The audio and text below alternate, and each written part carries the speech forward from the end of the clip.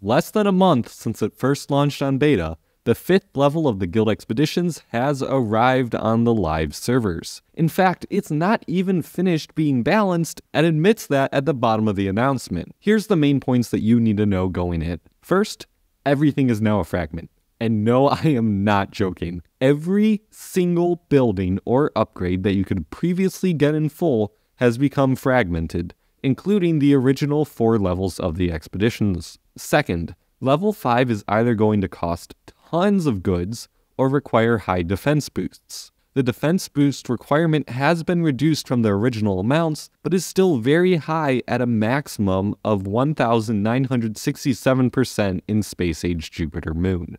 Third, diamonds are still nerfed, giving on average 81 per week or 4200 per year, down from 8200. So let's dive into the details, starting with the changes to levels 1 to 4. You won't notice a change in difficulty here, but you'll definitely notice the change in rewards. The encounter's rewards have been completely reorganized, and while they have been made a lot less random, they have been made very fragmenty. Instead of receiving, say, a Face of the Ancient, you'll now get fragments of the level 1 selection kit that you can then get the Face of the Ancient from. In total, there are four new level selection kits, and these are the level 1 with the bases and upgrades for the Face of the Ancient and Gate of the Sun God, the level 2 with the base and upgrade for the Ritual Flame, the level 3 with the base and upgrades for the Tribal Square and Sacred Skywatch, and the level 4 with the base and upgrade for the Terrace Farm. You might notice that the Fountain of Youth wasn't mentioned, but we'll get to that later. After playing through all four original levels of the expeditions,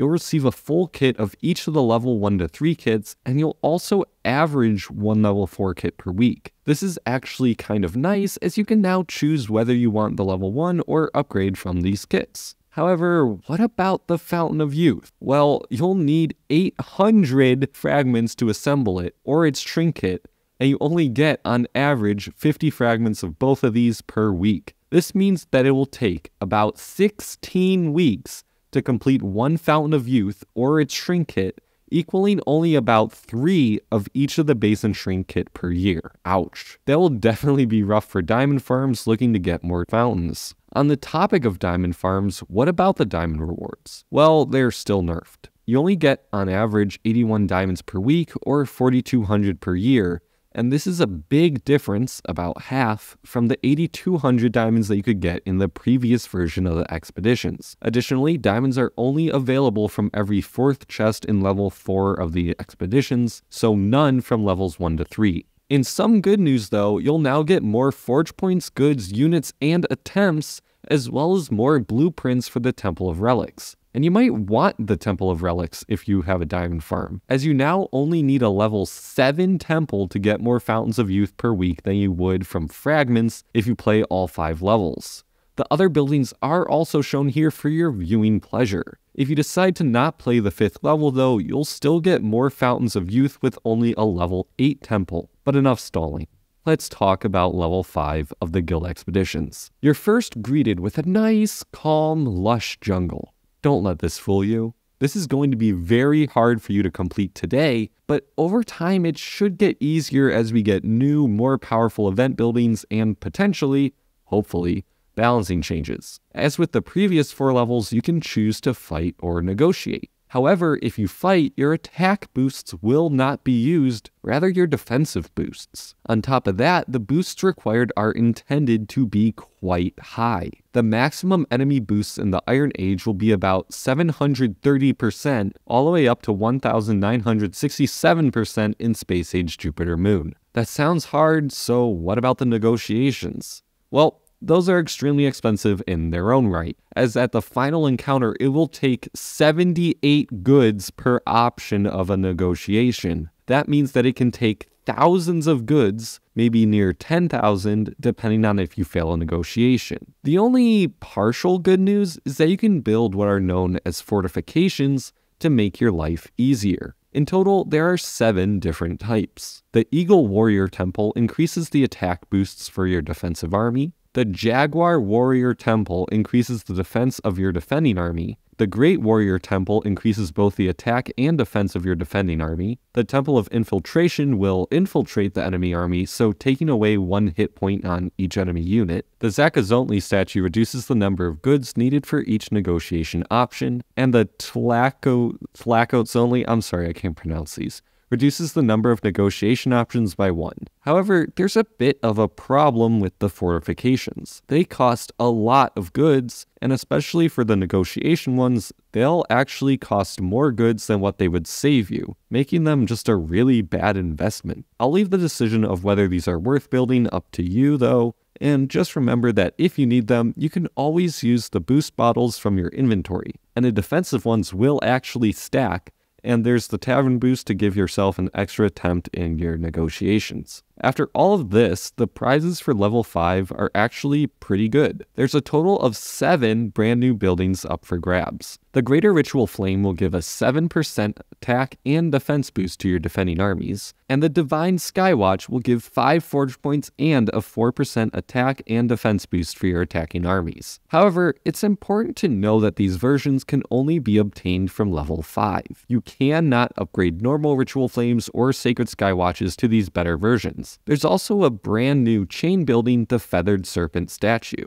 This 3x2 building will give you a whopping 10 forge points and 15% attack and defense boost for attacking armies at its third and final level. The Feathered Serpent has three 2x2 chain pieces that can be attached, being the serpent fins, that provides a 5% attack and defense boost for attacking armies, the Serpent Feathers that provides 20 goods, and the Serpent Spikes that provides a 15% attack and defense boost for defending armies. The last new building is the Forgotten Temple, a 3x4 building that provides a 40% attack and defense boost for attacking armies, a 50% attack and defense boost for defending armies, and a 20% forge point boost, meaning that for every 5 forge points a building produces, you'll get six. However, the Forgotten Temple is a limited time building and only lasts for 28 days, so 4 weeks. The good news is that you can get enough fragments to assemble a new one by completing all of level 5 every week. Did you hear the catch? Fragments. All the new buildings that I just mentioned can only be won via fragments. In total, it will take 4 weeks to get each of the above buildings, or the selection kits for the Feathered Serpents level 1 and upgrades, or its 3 chain buildings. That means that you will not get any tangible rewards for completing level 5 until your 4th time playing it.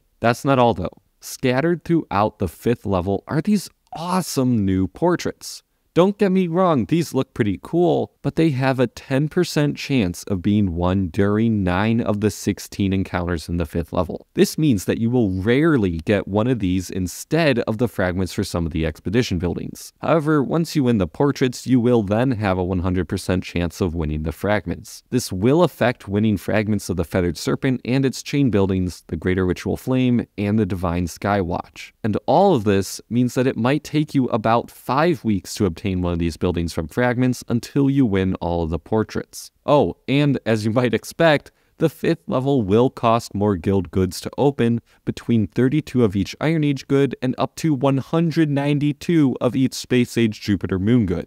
To put that in perspective, a level 80 arc provides only 162 of each of your Age's goods for your guild per day. It's expensive to unlock, so you might want to check with your guild's leaders to make sure that you have enough goods in your treasury to reliably open it every week. Overall, though, I recommend trying out the 5th level for a few weeks before drawing the conclusion that it's too hard. Yes, it's expensive, but the rewards are super powerful, and what are you doing with all those goods that you've got stored up anyways? Let me know your thoughts though. Are you excited? Have you made it to the 5th level yet by the time I post this video? And does the whole thing need to be changed? Let me know in a comment. And if you enjoyed this guide, why not check out my guide on some of the best and worst ways to level your great buildings. It's linked on screen now. Good luck with the 5th level of the expeditions, and as always, I'll see you next time.